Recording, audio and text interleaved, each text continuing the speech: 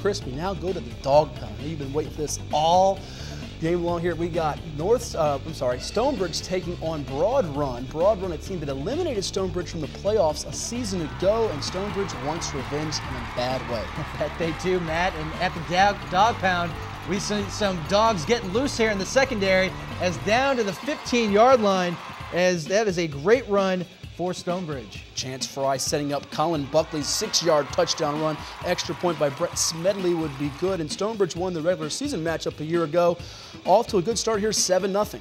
And then a surprise onside kick is going to be recovered by the Bulldogs as coming up with a recovery and sets them in great field possession inside the 40-yard line. Oh, that tricky Mickey Thompson, head coach of the Bulldogs with the surprise onside kick. And now Broad Run's defense has to find an answer against the Stonebridge attack uh, that has quite a few ways to beat you. Throwing the ball with Joe Thompson and running it, they would get the football back now, and you see the rushing attack with Shashawn Banks having success early on.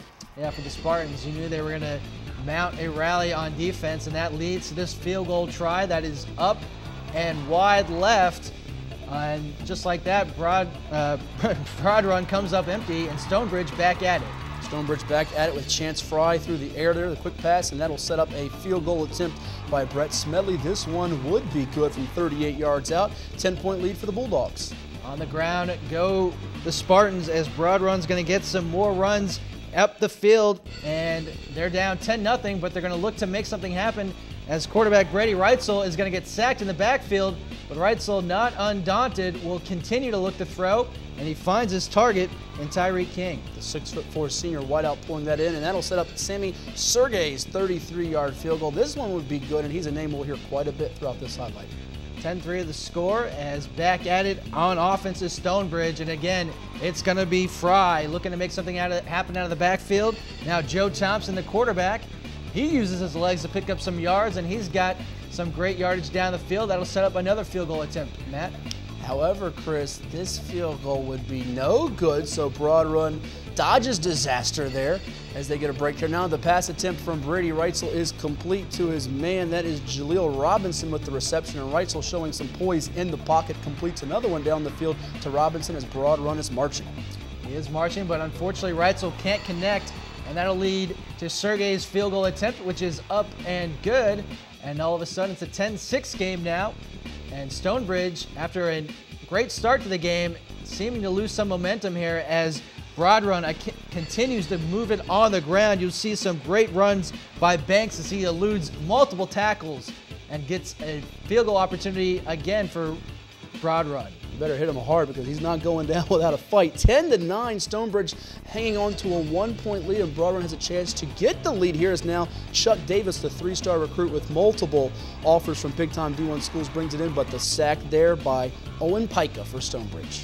Reitzel not to be discouraged. He again finds Davis on the sideline, and now Reitzel is going to pump fake and look deep downfield, trying to find Robinson, but just can't come up with it. And the offense will look to the ground game as again Banks is going to lose the football and Stonebridge comes up with it. James Prohaska with the recovery for Stonebridge on defense as the Bulldogs having the fans at the dog pound rejoice there. A field goal here by Sergey. He's been kicking a lot of these in this game and this one would be no good. So he's three of five on the night. Unfortunately for Sergey, it was a niet on that field goal try, and you see a great upending tackle on defense by Broad Run as they look to make a statement here in the second half. Unfortunately, it's the aerial attack as Chance Fry, we've seen him on the ground all game, Matt. This time he comes up with a touchdown reception. That could be a clincher, though. It's a little early, 17 to 9 after that 45-yard hookup from Thompson to Fry. Broad Run has the passing game to get back in it and the speed and athleticism of Chuck Davis there on the bubble tunnel screen there as he gets it inside the 45-yard line to start the fourth quarter, and the Spartans are moving the ball.